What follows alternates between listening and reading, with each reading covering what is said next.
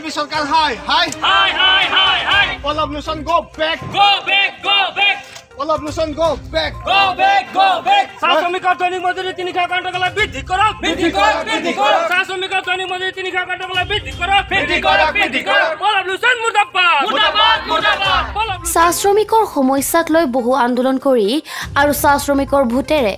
বিধায়ক মন্ত্ৰী আৰু বৰ্তমানৰ সাংসদ হৈ চাহ শ্ৰমিকক পাহৰি গৈছে নেকি আছাৰ প্ৰাক্তন সাধাৰণ সম্পাদক? পল্লৱ লোচন দাস শেহতীয়াকৈ তেজপুৰৰ সাংসদগৰাকীয়ে চাহ শ্ৰমিকৰ মজুৰি তিনিশ একাৱন্ন টকালৈ যি তুলনামূলক মন্তব্য কৰিছে তাক লৈ প্ৰতিবাদমুখৰ হৈ পৰিছে ঢেকীয়াজুলি শাখা আটছা আজি ঢেকীয়াজুলি শাখা আটছাই মনোবাগ আৰু সুগ্ৰাজুলি চাহ বাগিচাত পৃথকে পৃথকে সাংসদ পল্লৱ লোচন দাসৰ প্ৰতিমূৰ্তি জ্বলাই বিভিন্ন শ্লোগানেৰে বাগিচা অঞ্চল উত্তাল কৰি তোলে। বিধানসভা নিৰ্বাচনৰ পূৰ্বে পল্লৱ লোচনৰ এনে মন্তব্যই চাহ বাগিচাত বিজেপিৰ বাবে যে ক্ষতি হ'ব পাৰে সেয়া এক বৌদ্ধিক মহলে ধাৰণা কৰিছে। আমি ঢেকীয়ালি শাখা আটচাই তেজপুৰৰ সাংসদ পল্লৱ লোচন দাস ডাঙৰীয়াক সকীয়াই দিব বিচাৰিছোঁ। তেখেতে শ্ৰমিক বিৰোধী যিটো মন্তব্য কৰিছে শ্ৰমিকৰ মজুৰি তিনিশ একাৱন্ন টকা যিটো আমাৰ দাবী আছিলে সেই দাবীক তেখেতে যুক্তিহীন বুলি আখ্যা দিছে। তেখেতক আমি আজি ইয়াৰ পৰা আমি আহ্বান জনাইছোঁ। তেখেতে পুনৰাই যাতে এই ভুল নকৰে শ্ৰমিক বিৰোধী কাৰ্যত যাতে তেখেতে লিপ্ত নহয় অন্যথা কিন্তু আমি তেখেতক তেখেতৰ ওপৰত আমি সাংগঠনিক মানে বিভিন্ন ধৰণৰ কাৰ্যসূচী ল'বলৈ বাধ্য থাকিম। আৰু তেখেতক আজি এটা কথা মনত পেলাই দিব বিচাৰিছোঁ তেখেত যেতিয়া ছাত্ৰ নেতা আছিলে ছাত্ৰ নেতাৰ সময়ত তেখেতেও এই আন্দোলনৰ এটা এটা সময়ত গুৰি ধৰিছিলে। তাৰপিছত পৰৱৰ্তী সময়ত বিধায়ক হ'ল শ্ৰ- শ্ৰম মন্ত্ৰী হ'ল আজি তেখেত সাংসদ। শ্ৰম মন্ত্ৰী থকা সময়তো কিন্তু এই শ্ৰমিকৰ কাৰণে একো চিন্তা নকৰিলে। আৰু এতিয়া যোৱা ছয় তাৰিখে যি মন্তব্য দিছে যে শ্ৰমিকৰ মজুৰি বৃদ্ধিটো যুক্তিহীন কথা তেখেতক পুনৰবাৰ সকীয়াই দিব বিচাৰিছোঁ এনে কাৰ্যৰ পৰা দূৰত থাকক নহ'লে কিন্তু অসম চাহ জনজাতি ছাত্ৰ সন্থাই আপোনাক কেতিয়াও ক্ষমা ক্ষমা নকৰে। এজন তেওঁ ভাল লিডাৰ আছিলে জনামতে। তেওঁ আজি নিজে শ্ৰমিকৰ বিষয়ে তেওঁ আজি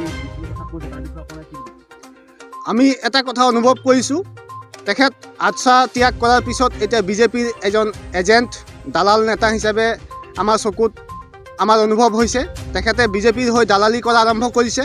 তেখেতে শ্ৰমিকৰ কথা চিন্তা বাদ দি তেখেতে অনলি ফৰ বিজেপি গভমেণ্টৰ ফেভাৰত আৰু মালিক পক্ষৰ হৈ তেখেতে ওকালতি কৰা দেখা গৈছে।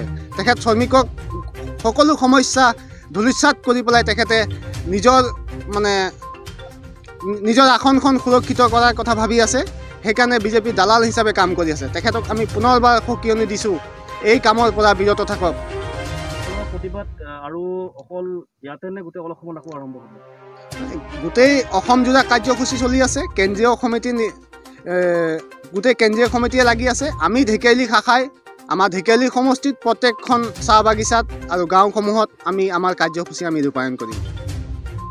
আজি গোটেই প্ৰতিবাদ আৰম্ভ হৈছে তাৰ বিষয়ে আপুনি কি ক'ব? প্ৰথমতে ধন্যবাদ জনাইছোঁ আপোনাক। আপুনি এই ৰদে ৰদৰ মাজত আমাৰ মা ভনীহঁতৰ সকলো ওচৰত আহি আপুনি যে এখন বাতৰি সংযোগ কৰি আছে তাৰ বাবে ধন্যবাদ জনাইছোঁ। আৰু লগে লগে আজিৰ এই প্ৰতিক্ৰিয়াৰ বিষয়ে মই অলপ ক'ব বিচাৰিছোঁ যে আমাৰ তিন তিনিশ একাৱন্ন টকা যিটো আমাৰ এইটো প্ৰাপ্য মজুৰি হয়। আমি কাৰো ঘৰৰ পৰা কাঢ়ি আনিব লগা দৰকাৰ প্ৰয়োজন নাই হোৱা নাই। কথা হ'ল কি আমাৰ এম পি মহোদয় নিজে এজন আমাৰ ছাত্ৰ সংগঠনৰ এজন কেন্দ্ৰীয় সমিতিৰ বৰ ডাঙৰ পদত এটা আছিল। তাৰ পৰা তেওঁ এজন বিধায়ক হ'ল। সেই জনগোষ্ঠীৰ পৰা তেওঁ এজন সাংসদ হৈছে। তেখেতে অন্ততঃ এই কথাষাৰ কোৱাটো যুক্তিকত নাছিল।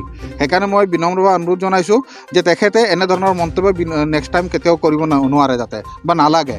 কাৰণ এটাই কথা কৈছোঁ যদি তেনেকুৱা বিৰূপ মন্তব্য কৰে তেনেহ'লে আমাৰ শোণিতপুৰৰ পৰা যিকোনো সমষ্টিৰ পৰা আমি শোণিতপুৰ জিলা আটচাই আৰু শাখাসমূহৰ লগত আমি তেওঁক খেদিবলৈ আমি প্ৰস্তুত থাকিম। যুক্তি নাই বুলি কৈছে। তাৰ বিষয়ে আপুনি কি কয়?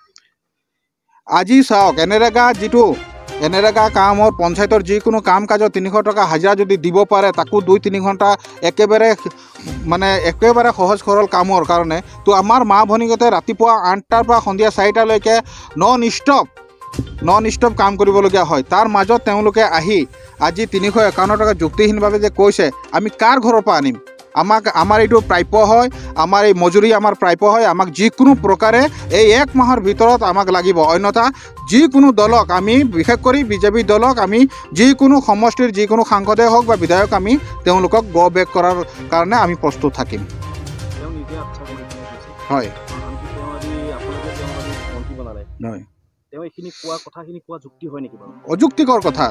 তেওঁ কি ভাবি ক'লে আমি এইটো ভাবিবলৈ মানে লাজ পোৱা হৈছোঁ। সঁচাকৈ কৈছোঁ আজি তেওঁক আজি আমি আমাৰ জনগোষ্ঠীৰ এজন যে সাংসদ হয় এইটো আমি ক'বলৈ অলপ লাজ পাইছোঁ। আজি অন্য সং মানে অন্য সম্প্ৰদায়ৰ যদি ব্যক্তি এজনে যদি এইখিনি কথা ক'লেহেঁতেন তেতিয়া আমি মানিলোহেঁতেন তেখেতে নাজানে বুলি। কিন্তু তেখেতটো এজন চাহ জনগোষ্ঠীয় যুৱক হয় তেওঁ চাহ জনগোষ্ঠীয় এজন সাংসদ হয় তেওঁ চাহ জনগোষ্ঠীয় হিচাপেই টিকেটখন পাইছে। তো তেখেতে এইখিনি কোৱাটো অযুক্তিকৰ বুলি মই ভাবোঁ।